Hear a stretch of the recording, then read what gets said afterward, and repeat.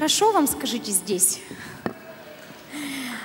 Так что прав псалмопевец, да, который писал «хорошо и приятно быть сестрам вместе», правда? Давайте посмотрите друг на друга и скажите «сестра, мне так хорошо и приятно с тобой быть». Если рядом с вами случайно брат, ну, тоже можете ему сказать в виде исключения.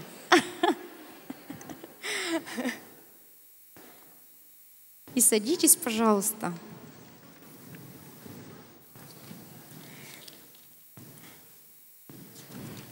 Здорово, когда вот сейчас на собрании, в конце такого прекрасного дня, да, когда мы все с вами целый день были в Божьем присутствии, в проповедях, сейчас у нас такой мир в душе, такой, ну, порядок какой-то в душе и м, вот покой. Но когда мы уедем отсюда, да, мы можем снова оказаться в водовороте наших каких-то негативных эмоций, там, страхов, страстей каких-то. А, жизнь, она вот такая, она бурная, она закручивает нас. Очень хорошо, когда мы можем в этом водовороте противостоять. Да? И вот сейчас мы как раз попробуем разобрать одну такую непростую тему. А, я хотела бы очень вам помочь в этом, потому что это такая всеобщая универсальная проблема. Вот начну с того, что для нашей семьи этот год был очень насыщенным разными событиями. В церковной жизни, в нашей семейной жизни произошло много всего. Даже мне хочется, вот я не успеваю вести дневник, но мне хочется прямо взять и записать вот все события, скажем, этого лета, которое было настолько насыщенно, весны. Но вот если бы вы меня спросили, а что было самым для тебя центральным, таким важным и значимым событием, я бы сказала, что это был выезд тишины, который был весной. И я объясню почему. Потому что неожиданно я там получила время – какого у меня, в общем, никогда не было за всю свою жизнь. Я всегда в каких-то делах, всегда в заботе о ближних, о семье, о, о церкви. То есть я всегда а, вот в каком-то, ну, в какой-то деятельности. И вдруг это было фантастическое состояние. Это, вот, этого не стало. И я оказалась вместе с другими нашими братьями, сестрами в том блаженном состоянии, когда никто тебя ничего не просит, ты никому ничего не должен, ты предоставлен сам себе. Вот поверите, у меня это было первый раз в жизни. Даже на отпуск, когда мы едем в отпуск, у меня всегда дети, у меня всегда, ну, в общем, заботушки не прекращаются. И здесь вдруг я получила возможность все свое внимание отдать вот внутри, своему внутреннему, своему вот этому внутреннему миру, а значит и Богу. И, конечно, никакими словами не описать. Те, кто был на выезде, те знают, как работает там Бог. Совершенно удивительным, исключительным образом. Никак не описать это словами. Но некоторые вещи были сказаны мне так прямо и явно, и я даже записывала это, чтобы не забыть. Так вот, одна из вещей — Сейчас я вам скажу, какая была. Вот еще хочу перед этим заметить такую вещь, что когда выходили до меня проповедницы, они обе начинали с чего? Что мы такие счастливые, мы, у нас все есть. И даже это просто, не просто все, но все самое лучшее. Да? И вот вы смотрите и думаете, вау, вот это да. Вот женщины так женщины, вот это супер женщины. У них все есть, они всем довольны, они счастливы, они просто, ну, это редкость в наше время, правда? Вот кто еще может сказать, у меня все есть, я счастлив, доволен, я вообще... Ага, два человека. Ладно. Один из них мой муж, слава богу. Три. Ладно. Но я вам скажу вот что. Конечно же, у них, вот у этих замечательных сестер есть тоже проблемы, да, и есть тоже всякие-всякие сложности. Э, и это, конечно же, никакое не лицемерие, а это их позиция во Христе. Вот то, что они говорили да, о себе. Это такая, ну, это их прекрасный такой характер, это стойкость жизненная. Вот так воспринимаю я жизнь, понимаете? Это характер, построенный на библейских принципах. Это мудрость. Вот я уважаю такую жизненную позицию, да? Но при этом вы должны понимать, что никаких супер женщин вообще нет.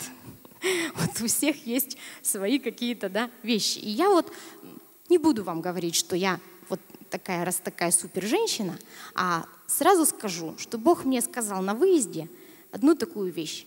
У тебя жизнь почти вся управляется страхами. Вот, здравствуйте. Это такое было, ну, откровение, как же я уже столько верующая, и как я, э, почему я не могу это до сих пор преодолеть, да? И я начала за этим просто специально наблюдать. И на самом деле обнаружила в себе очень много явных и тайных страхов. И вот я хочу об этом с вами поговорить. Подозреваю, что я не одна тут такая, да? Очень-очень многие люди, вообще все, можно сказать, подвержены вот этой напасти. Ну, я откровенно вам говорю. И вот хочу начать с чего? С одного места библейского. К свободе призваны вы, сестры. Это что за место? Скажите, кто у нас знаток Писания? Нет. Галатам 5, 13. Ну там, правда, к свободе призваны вы, братья. Конечно, мужчины думают, что только они призваны к свободе. На самом деле, сестры, вы тоже призваны к свободе. Повернись к соседке и скажи, ты к свободе призвана, сестра. Она согласна? Теперь давайте посмотрим, как реально обстоят дела. Да? Нас, нас к свободе даже призывать сильно не надо. Это базовая потребность человека – быть свободным. Вот. Ну, как это все воплощается а, в жизни, сейчас посмотрим. Вот есть свобода, есть несвобода явная. Например, тюрьма. Все понимают, это состояние несвободы, да? И тут как бы не надо много ну, объяснять. А есть несвобода тайная – это вот как раз жизнь в страхе. То есть страх создает для нас некую тюрьму. Вот откройте, пожалуйста, Римлянам 8 главу 15-16. И здесь говорится, тут говорится, что вы сыны Божии. Почему? Потому что вы не приняли духа рабства, чтобы опять жить в страхе но приняли духа усыновления, которым взываем, а воочи. Сей самый дух свидетельствует духу нашему, что мы дети Божьи. То есть, смотрите, вспомните вот такое уродливое явление, как рабство настоящее. Да? В наше время, кстати, тоже есть рабы. И в разных сферах э, это вот явление, оно какое-то неискоренимое. Вспомните, когда человек, например, владеет полностью человеком другим – и имеет с него какую-то выгоду. Это отношения какие? На чем они основаны? Всем понятно, на страхе. Тот второй, которым владеют, не хочет этого, да? Он не будет это делать э, ради вот, ну, чего-то такого, ради какого-то своего удовольствия или своего желания. Нет, он просто принужден. Он принужден оставаться в этом положении и работать. И вот здесь этот отрывок Писания противопоставляет вот эти отношения хозяин-раб отношениям отец-сын. Так? Отец-сын — это совсем другие отношения. Это отношения, основанные на любви. Тогда вот почему мы, да, дети Божьи, уже много лет мы можем быть детьми Божьими, а в нас все равно живут страхи. Вот почему мы а, не можем освободиться от этого рабства? Вот есть, на мой взгляд, несколько очень важных причин. Во-первых, это есть, это такая сфера, понимаете, очень тайная. Вот не все страхи свои, так же, как не все свои мысли, которые живут с нами, с нами с самого детства, вот они могут крутиться по кругу все детство, всю взрослую жизнь. Вы можете уже до старости дожить с этими мыслями, вы их просто не замечаете.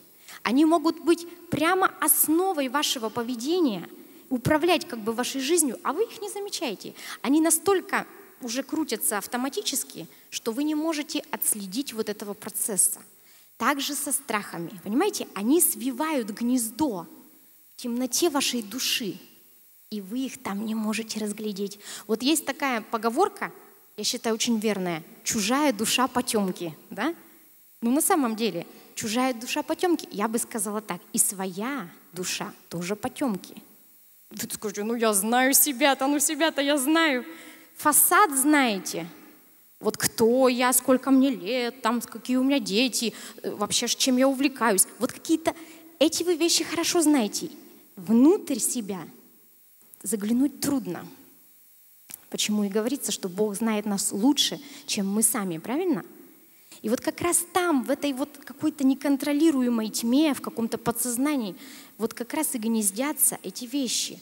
Получается, что в нас вложили с детства, то как-то и определило нашу жизнь. Мы, как некие запрограммированные вот такие автоматы, вот так и живем, следуя вот этим каким-то указаниям, даже не зная, что нами кто-то руководит или что-то. И поэтому вот что может нам помочь в этом, да? Как можно а, заглянуть-то туда?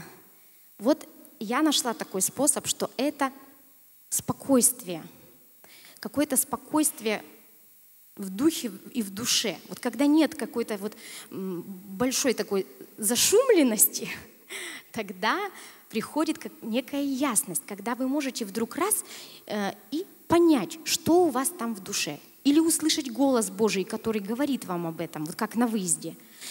Или это может быть просто случайность, когда вы вдруг заметили, как это все происходит. Вот. То есть не так просто отследить все эти вещи. Кроме того, есть кто-то, кто заинтересован держать нас в рабстве вот, вот этими страхами. Вот если есть раб, ведь есть и кто-то, кто владеет рабами, правильно? И он имеет с этого выгоду. Так и у нас. Есть конкретно. Вот, конечно, над нами никто не стоит с плеткой, да, но мы а, знаем, что вот есть князь тьмы, и вот эти все духи злобы поднебесной, и вся вот эта преисподняя, которая конкретно заинтересована держать человечество в рабстве страха. Они имеют с этого прямую выгоду. Поэтому как бы они создали такую изощренную систему разных-разных запугиваний, понимаете? И с самого детства мы вот как бы получаем в свою порцию вот этих вот боязней и страхов. И плюс к тому мы немножко одураченно живем, потому что такое ощущение, что их нет, и все нормально. Вот и получается, что а, выбраться из этого состояния не так просто. Людям кажется, что так жить нормально и естественно. Все так живут, и значит, это нормально. Вот приведу один пример еврейского народа, который оказался в рабстве, да, таком физическом. Причем ведь они вначале в Египте были в совершенно нормальном состоянии. Благодаря Иосифу они были уважаемыми людьми, они там расплодились, у них было имущество. И как-то так получилось незаметно, что они попали в положение рабов, которых нещадно эксплуатировали. Дело дошло до того, что уже убивали их детей, а они как-то терпели. Вы понимаете, они забыли за 400 лет, как это было жить в свободе. Они просто об этом забыли. И для них это стало естественно. Ну да, такой порядок вещей. Мы рабы, над нами есть хозяева. И вот так все и должно быть, так и будет. Но Бог, Он не согласился с этим, правильно? Он через Моисея стал показывать им, что не надо покоряться своим притеснителям, надо выходить. Вот у Бога на рабство один только ответ – выходить. И вот посмотрите, Второзаконие, 7 глава, 8-9 стих. 8-9 стих. Здесь написано, и это место, оно очень-очень много повторяется. Оно такое, как бы, вот очень много таких мест. 8-9. Но потому что любит вас Господь, и для того, чтобы сохранить клятву, которую Он клялся отцам вашим, вывел вас Господь рукою крепкою и освободил тебя из дома рабства, из руки фараона, царя египетского. И так знай, что Господь, Бог твой, есть Бог, Бог верный, который хранит завет свой и милость к любящим Его и сохраняющим заповеди Его до тысячи родов. То есть, понимаете, Господь, Он ненавидит рабство. Он говорит, давай, выходи. И я еще бы хотела одно место привести, интересное очень. По своему любимому, переводу вот, Российского библейского общества, это книга пророка Исаии, 14 глава, 3-8 стих.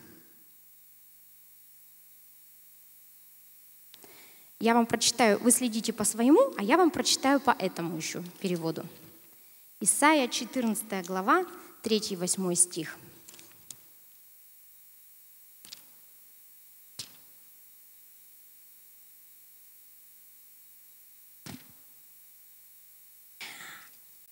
Здесь говорится, «А, и когда освободит тебя Господь от страданий и страха, от тяжелой работы, к которой тебя принуждают, ты споешь о царе Вавилонском насмешливую песню – вот и не стало угнетателя, вот и конец его ярости. Сломан Господом посох злодеев, жезл властителей, что яростно бил народы, нанося удар за ударом, правил ими свирепо, безжалостно их притеснял. Теперь по всей земле настал покой и отдых, и звучат веселые песни. Когда Господь наш берется за дело, да, любящий наш Господь, то всякая вот эта система, которую создал дьявол, а естественно вот этот царь Вавилонский, это дьявол, она рушится без следа. Понимаете, Бог, Он не улучшил там условия пребывания да, этих евреев. Хотя они не хотели ведь выходить. Они были вот в этом естественном, нормальном состоянии. Ну, мы не пойдем, мы... здесь хотя бы все привычно, здесь все, как мы знаем, здесь все стабильно, есть пища. Куда ты нас зовешь? Мы не знаем. То есть они еще боялись выходить. Но Господь, Он не то что сделал, ладно, я вам тут сделаю хорошо, чтобы вас так не напрягали работой, чтобы детей ваших оставили в покое, чтобы вас уважали. Господь сказал, выходите. И просто радикально их оттуда вывел. И вот так же мы должны, друзья, поступать с нашими страхами. Просто, я думаю, мы смиряемся. Мы смиряемся с ними и вот так с ними продолжаем существовать. Как будто бы это естественная часть нашей жизни. Но Господь хочет вывести вас из земли рабства, потому что у Него есть для вас земля свободы. Нужно только это, в это очень поверить и поверить в этот новый уровень свободы. Я очень хочу, чтобы это загорелось сегодня в вашем сердце, чтобы вы перестали мириться с этим рабством, в котором вы пребывали или пребываете. И а, давайте вот посмотрим на разные-разные виды страха. А, они очень многообразны и, и очень, просто целая такая вот, целое такое у них содружество этих страхов. Во-первых, есть страх коллективный. То есть вы не просто сейчас слушаете меня, вы пытаетесь а, посмотреть еще на себя, что у меня из этого всего есть. Конечно, я не все назову, но какие-то назову. Есть вот этот коллективный страх, и это то, что заложено в нас, вот в наших генах. Вот так вот далеко мы копнем, да, от предков. И то, что мы приобретаем вместе с воспитанием, вместе с культурой. Во-первых, вот этот генетический страх, во-вторых, воспитание, да. Как вот принято в обществе. Вот это все мы впитываем в себя. Посмотрите на наше наследие, вот на наше российское наследие. У нас, если так мельком быстро пробежаться по нашей истории, то честно говоря, приходишь в ужас, потому что там и разные цари, тираны, и кровавые войны, и крепостное право, и гражданская война, и потом большевистский террор, и потом сталинский террор, и вся вот эта несвобода советской жизни. Это все, друзья мои, в наших генах. Есть такой замечательный писатель Гроссман, и он э, в книге «Все течет» может кто-то читал, вот дает оценку русской истории. Он пишет, что вся история нашей страны — это неумолимое подавление личности человека. То есть такое холопское преклонение личности перед государством. Это не мы сами такие стали, это нас вот история вот так вот как-то к этому привела. И он пишет, история человека есть история его свободы. А если свободы здесь не было вообще никогда в этой стране, то понятно, что мы с вами имеем историю рабства, можно так сказать. А, он еще пишет, одно лишь тысячелетнее рабство создало всю мистику русской души. Вот помните, некоторые рассуждают о каком-то особом русском характере. Он говорит, что это тысячелетнее рабство. И может кто-то со мной не согласен. Я не говорю, что это абсолютно истина, это просто мнение да, вот этого писателя, с которым я согласна. Вот есть в нас такое. И когда вот мы с вами как-то вы должны взаимодействовать а, с обществом, ну, выходим мы на улицу, да, едем в транспорте, вы знаете, мы напряжены, потому что мы боимся. Мы боимся, что нас унизят, что нас оскорбят, что нас обманут, обворуют. Вот где-то что-то в любой момент можем с этим встретиться. Ведь правда? Ну кто из нас не ездил в транспорте, кто не заходил в магазины, в школе на нас могут накричать учителя, на, работе начальники. И это на всех уровнях нашей жизни. От этого просто никуда не денешься. Мы чувствуем, что мы перед государством беззащитны. Поэтому мы привыкли полагаться на себя. И когда приезжаешь за границу, всегда можно узнать русского человека. Вот он может одет быть прекрасно, еще лучше даже, чем иностранцы. Он может вообще так выглядеть фешенебельно, но его выдают глаза.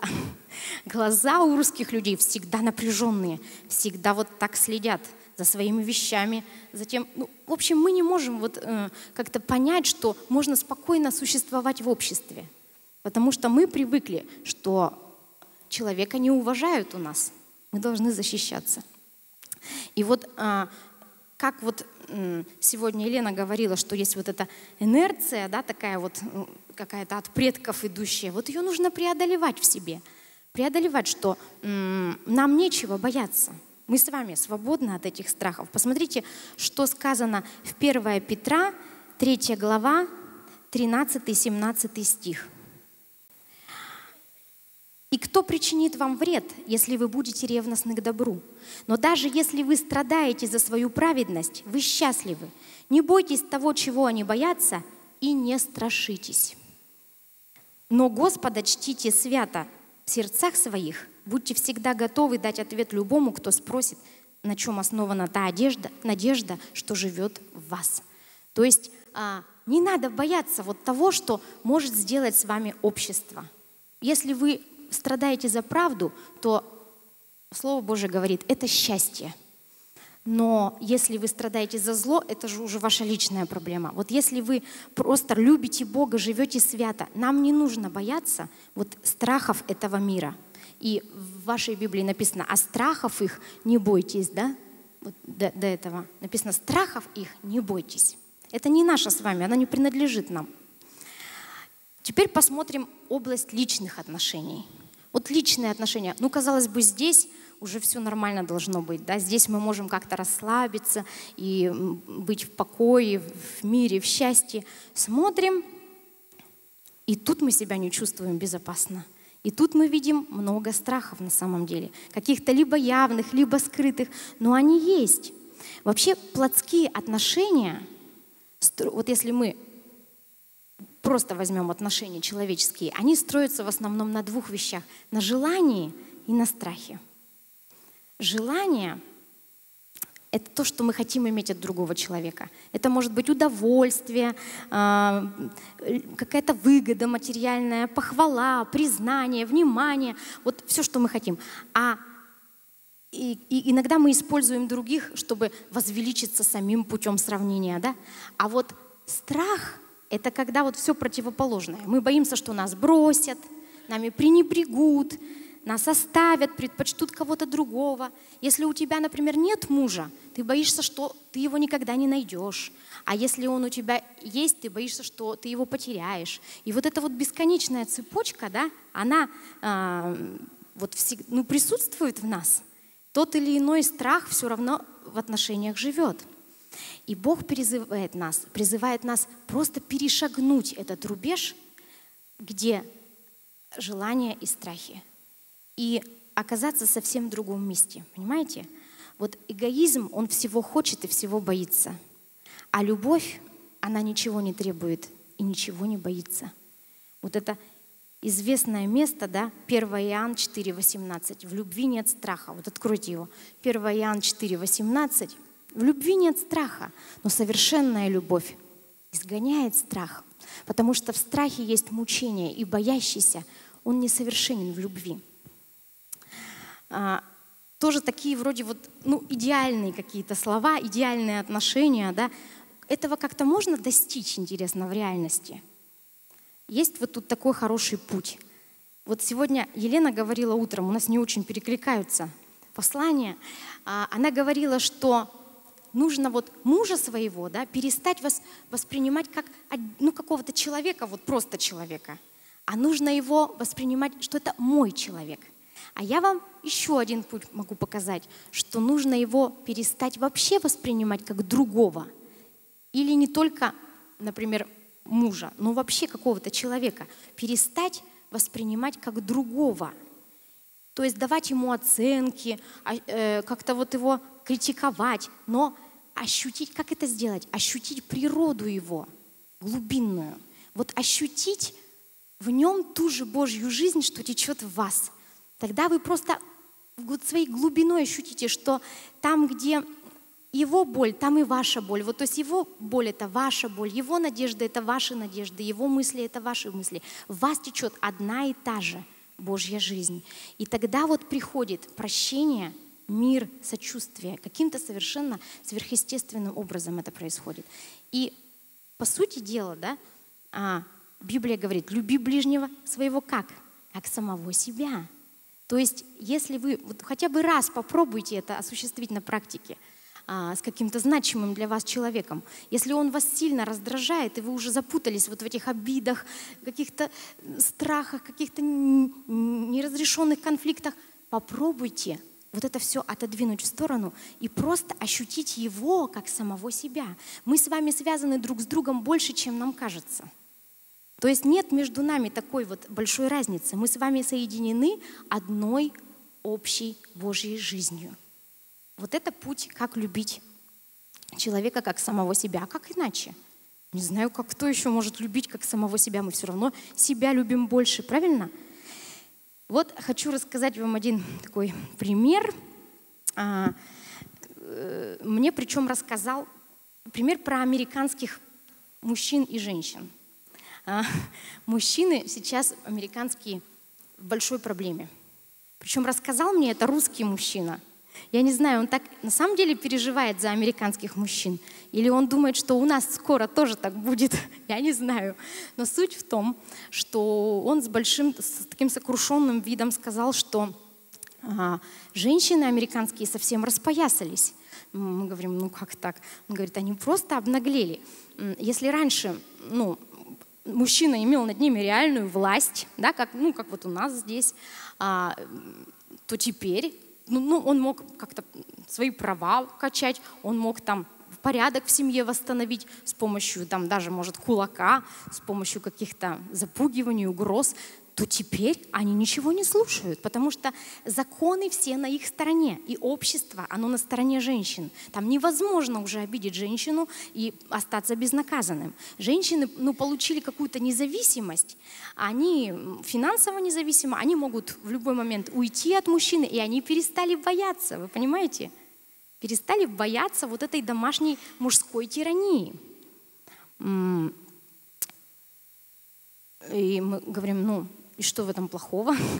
А он говорит, ну как же? А как же тогда э, вообще на них иметь какое-то влияние? Например, женщина изменяет тебе, а ты ничего не можешь сделать. А раньше врезал ей, она испугалась, больше не изменяет. Вот в таком плане шел, шел разговор. И я сказала, а я бы не хотела не изменять мужу, потому что я боюсь, что мне врежут. Он вообще удивился. Как это так? Я говорю, а я не хочу изменять мужу по другим причинам. То есть я хочу, а, чтобы мой муж... А, то есть я хочу это делать по собственной воле, понимаете, а не из-за страха.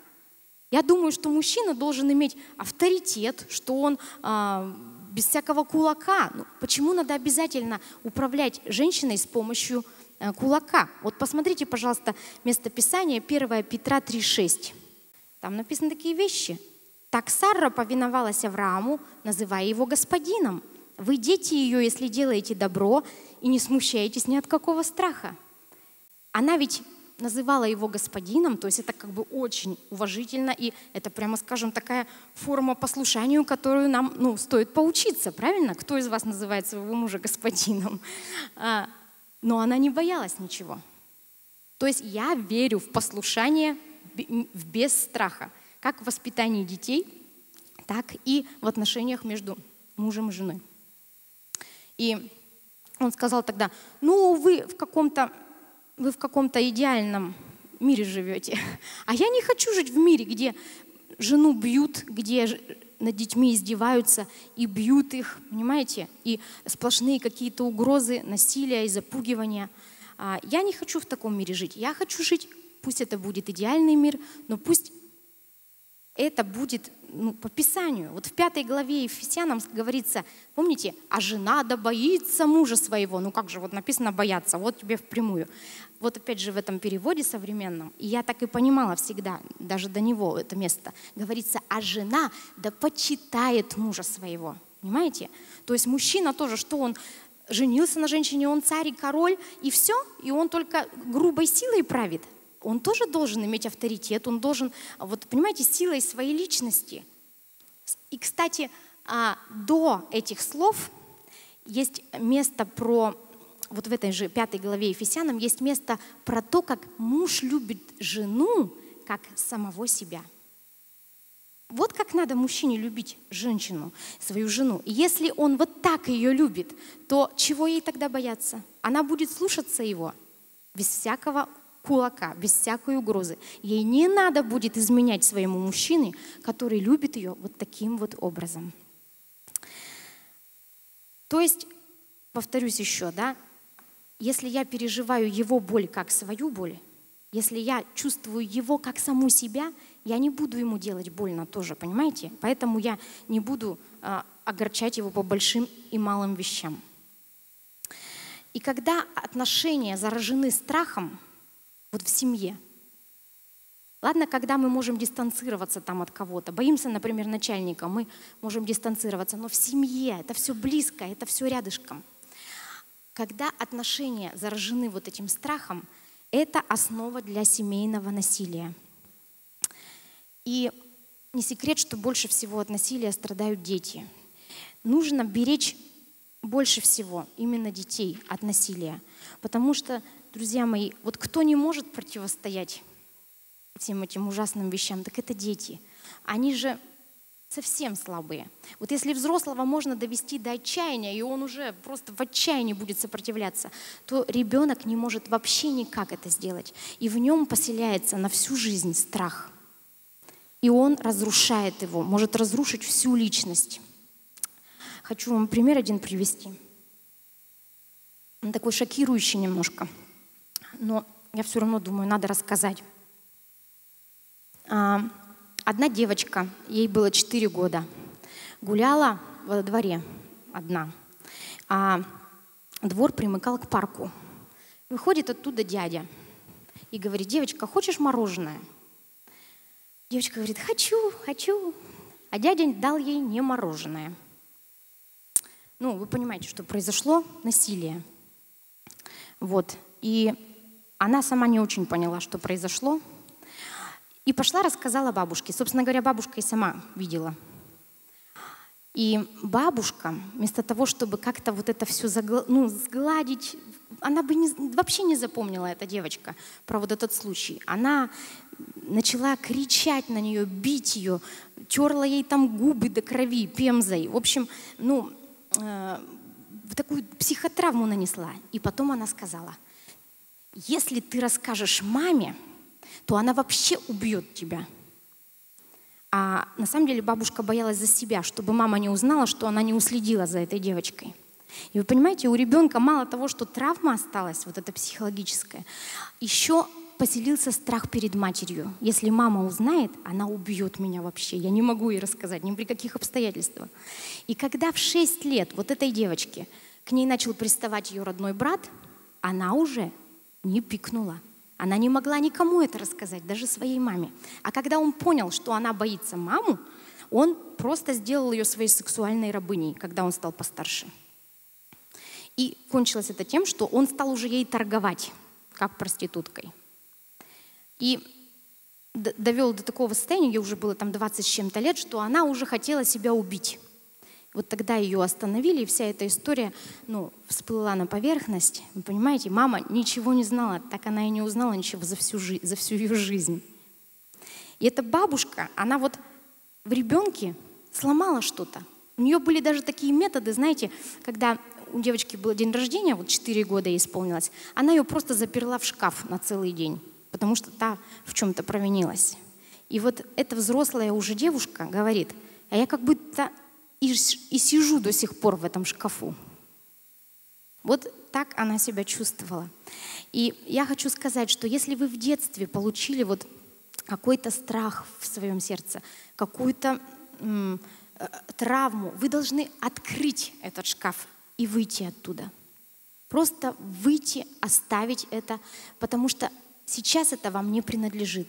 Знаете, как будто бы событие какое-то произошло, а потом вот эти волны от него идут по всей нашей жизни. Не допускайте этого. Выходите из шкафа. У вас есть кому все рассказать. Даже если вы боитесь маму, папу, то вы все равно у нас есть, у нас есть защитник, утешитель. Он наш целитель. Он исцеляет любые раны.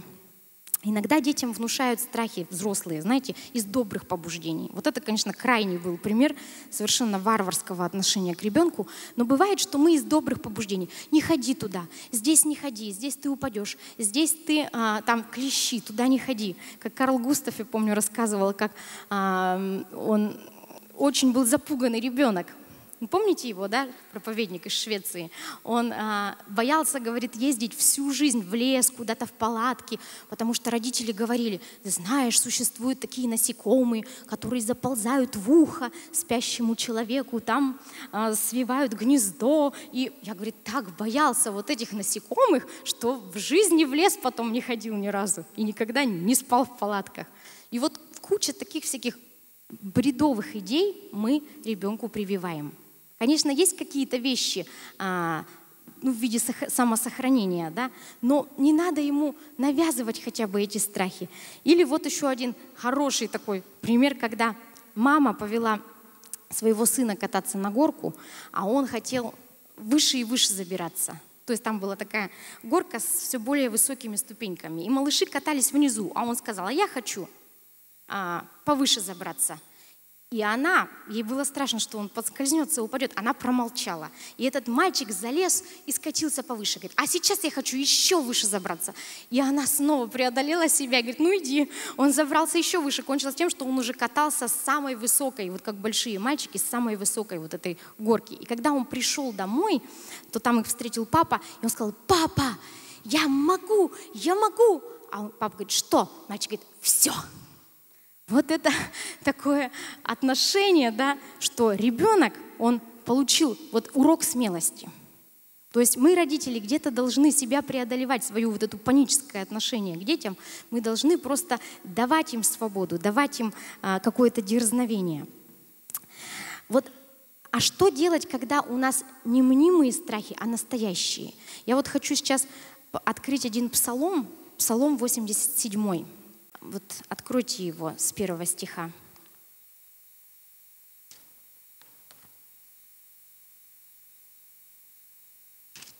Это, знаете, самый, наверное, грустный псалом во всей Библии.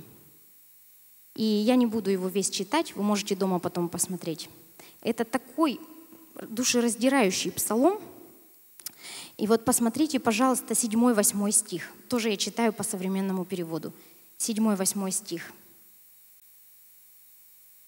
Ты не зверг меня в яму преисподней, в пучину, во тьму. Тяжек твой гнев для меня, волны сбили с ног.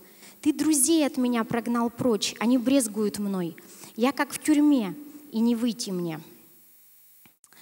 А, и еще посмотрите, пожалуйста, 16-19 стих говорит нам – с юности ждут меня горе и смерть. От твоих ужасов я изнемог. Твой гнев меня захлестнул, как, вой... как волна. Тобою посланные страхи сломили, затопили меня, словно вода. Окружают отовсюду, всегда. Как здесь написано, облегли меня, да, облегают меня. Все вместе. Близких ты прочь от меня прогнал, и мой спутник мрак. И никто не скажет, что вот такие вот слова можно придумать. Это настоящее какое-то горе, настоящая какая-то, вот, может быть, болезнь с самой юности. Ну, очень что-то. Человек в крайне тяжелых обстоятельствах, и он а, посмотрите, первый стих, я бы этот первый стих поставила бы в конце, но э, он начинает с этого, он начинает, «О Господь, Бог спасения моего, я и днем, и ночью взываю к Тебе».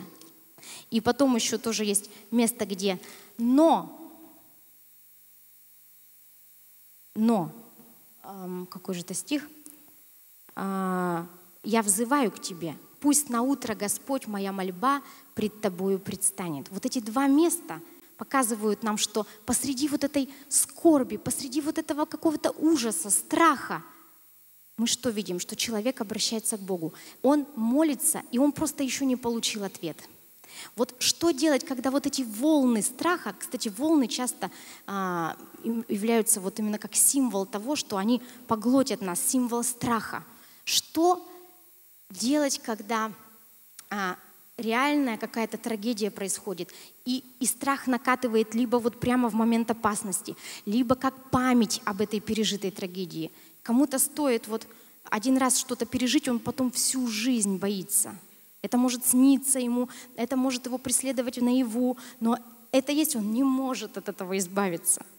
И вот я бы хотела вам показать вообще конкретный такой способ а, справиться со страхом. Ну, во-первых, приведу свой пример. Бог дал мне в самом начале моей христианской жизни впечатляющий пример, как бороться со страхом. Расскажу вам эту историю. А, я была совсем юной девушкой и только-только уверовала. Вот буквально, не знаю, там несколько месяцев. Такая была достаточно легкомысленная, шла по двору, и эм, какой-то мужчина останавливается на машине и говорит, а, девушка, садитесь, подвезу. И как-то вот я по глупости своей села в эту машину. И вот когда я села туда, вообще никогда обычно не садилась, но тут я торопилась на работу и попросила меня подвести до работы. И когда я села в эту машину, я почувствовала от этого человека вот какой-то исходит вот ну, такой импульс, да, от чего мне стало страшно. Я думаю, вау, это я как так вообще оказалась такой... Вообще у меня не было таких ситуаций обычно. Вот. И мне просто было страшно. Я из машины-то вышла. Он как-то меня на самом деле довез. Но он пообещал, что, он меня, что я ему понравилась, что он меня обязательно найдет, где я живу, и узнает, где я живу, и придет. И, и мне, честно говоря, было очень страшно в тот момент, что ну, человек был такой, прям скажем, такой громадный такой качок. Ну, ничего хорошего от него ожидать не приходилось, мне так казалось. И в этот день у нас было молитвенное собрание. Я пошла на него, и так мы там исполнились духом, вот я до сих пор помню, мы молились прямо на коленях а, час или два, в общем, у нас была такая бурная молитва, и я вдруг почувствовала, что я не боюсь больше вот этого дядьку. У меня было совершенно вот э, обновленное состояние вообще разума и, и сердца. Вот я почувствовала просто, что Дух Святой меня воодушевил. Я пошла так смело домой, пришла домой в совершенно в таком боевом состоянии. Это сделал чисто Бог. И знаете, что было дальше? Через некоторое время звонок в дверь. И у меня был папа, но он такой, он, в общем, не мог меня защитить вот в любом случае, потому что тот был очень-очень такой здоровый и сильный. А, и открываем дверь с папой, и вот он стоит на пороге с таким вот видом, что типа вот он, я пришел. А я ему говорю, ну заходи. То есть мне хотелось ему проповедовать Слово Божье. И я даже в это время забыла, что у нас в гостях один человек, который просто был э, случайно, он учился и жил а, у нас вот, ну, временно, пока у него там учеба была. А он был такой ОМОНовец, как бы сейчас сказали. Он был еще здоровее вот этого мужчины, который привязался ко мне. И он так невзначай вышел в коридор в этот момент. Понимаете? То у того, смотрю, глаза округлились. Вот если бы у него были хорошие мотивы, он бы зашел на самом деле. Его же никто не предлагал там сразу бить или что-то. Но он так попятился к лифту, сказал извините, и больше я его никогда не видела. Понимаете? То есть вот когда мы побеждаем этот страх, это совершенно реально. Вот даже панику остановить в себе. Тогда вот обстоятельства меняются в сторону нашего спасения. И я хочу вам еще привести один пример человека, которого вот так же, как этого псалмопевца, вот можете еще 87-й псалом да, показать, вот 18 э, стих. Он пишет, что его облегли воды. Так вот, человека, которого реально облегли воды со всех сторон. А, и мы уже рассказывали про него, вот Виктор рассказывал, это а, человека звали Слава Курилов. Это человек, который прыгнул в 1974 году с борта лайнера и оказался один в этом огромном океане. И главное, что он не мог понять, куда ему плыть. Он не мог сориентироваться, потому что был шторм, и он не видел небо, было все в облаках, то есть не было никаких ориентиров. И вот посмотрите, что он пишет. Он не мог вообще понять. То есть он силы-то ты теряешь, а куда плыть не понимаешь. Может, ты вообще удаляешься. Он хотел доплыть до острова.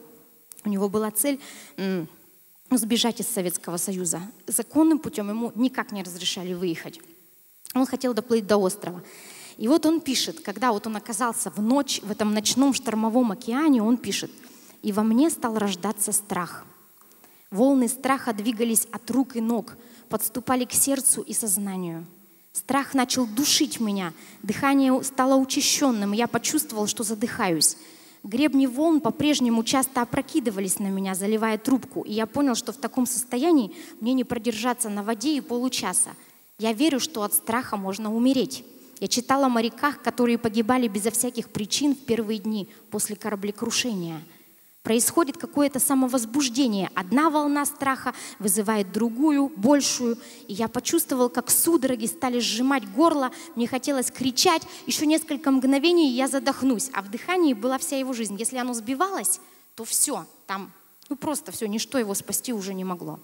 И в этот момент у меня мелькнула мысль – что мое положение еще не совсем безнадежно, и я просто убиваю себя сам.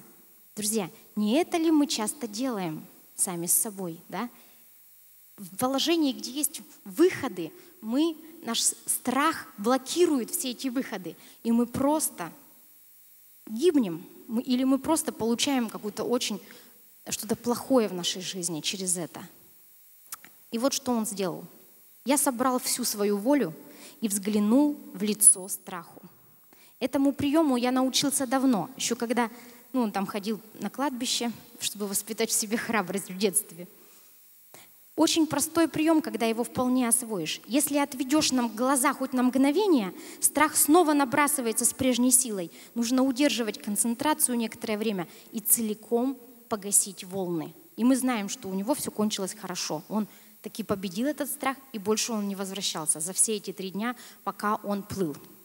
И смотрите, дорогие мои, а вот Иисус ведь нам тот же самый урок преподал. Вот откройте, пожалуйста, Лука, 8 глава, 22-25 стих.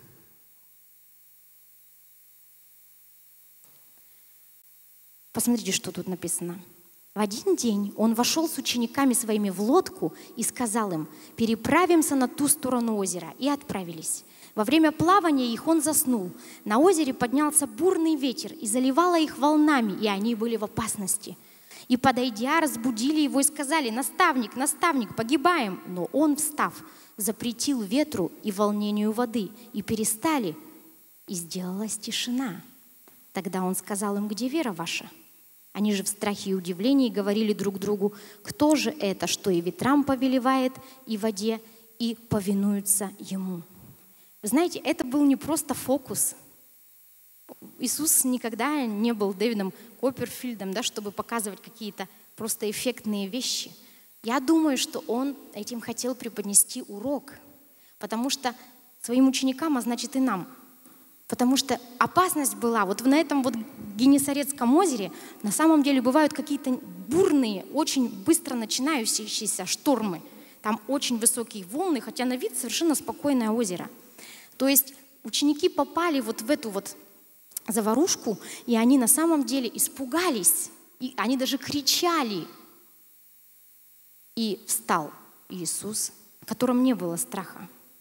И он смотрел на эти волны.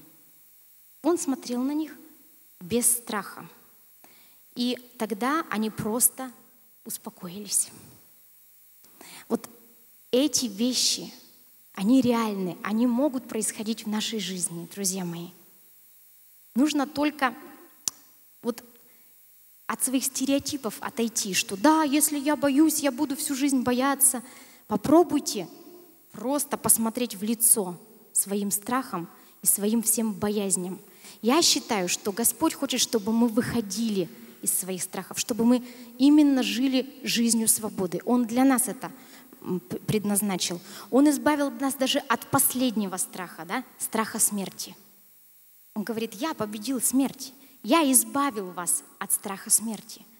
То есть нет ни одного страха на земле, который мы должны были бы бояться.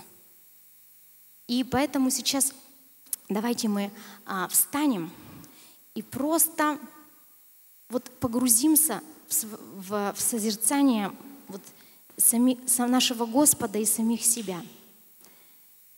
Я хочу, чтобы вы сейчас сосредоточились и посмотрели как бы вглубь себя. Где те вещи, которые, может быть, определяют вашу жизнь, ваши поступки, а вы этого и не знаете – где та реальность, которая э, мешает вам где-то жить, мешает вам двигаться дальше.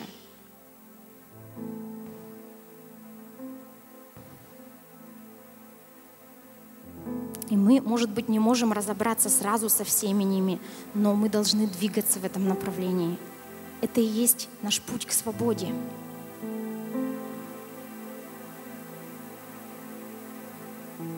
Аллилуйя, Господь.